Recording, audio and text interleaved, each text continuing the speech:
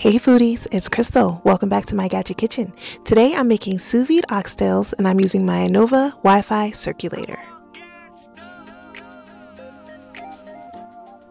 Here are the seasonings I'll be using. Cayenne pepper, granulated garlic, granulated onion, thyme, salt, pepper, browning sauce, and ground allspice. First you want to start with clean oxtails that have been patted dry.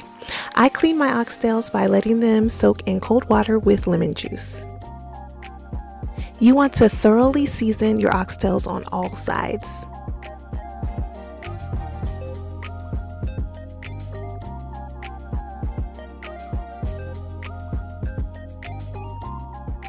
I decided to add some Creole seasoning to the mix.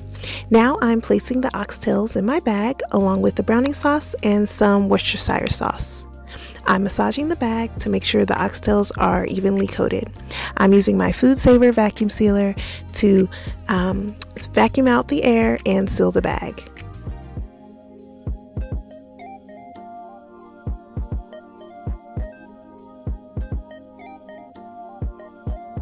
This is where I'll be cooking the oxtails. I'll put a link in the description box so you can purchase all the accessories. And here's what the Anova looks like. It has the target temp and then the current temp and then you use the app to control everything. So now my water is all heated up, so it's time to add the oxtails and let them take a nice hot bath.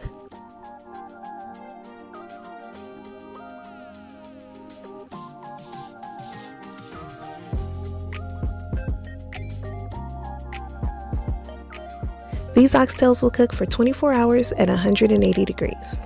So the next day, they're all done. So I cut a hole in the bag and I pour the juices into my fat separator. So all the yummy goodness is at the bottom and the yucky fat is at the top.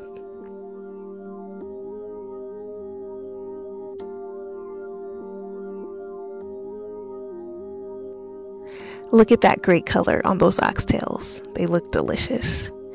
And look at how tender they are. The meat is just falling off the bone.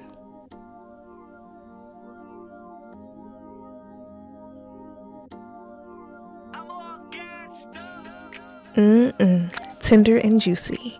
I ended up serving the oxtails over some jasmine rice and I poured the gravy over the top and boy was this delicious. If you guys give this a try, please let me know and let me know how you like it. It's definitely worth the wait. If you like this video, give me a thumbs up. And as always, thanks so much for watching and remember, get out of that drive through and get into the kitchen. Bye!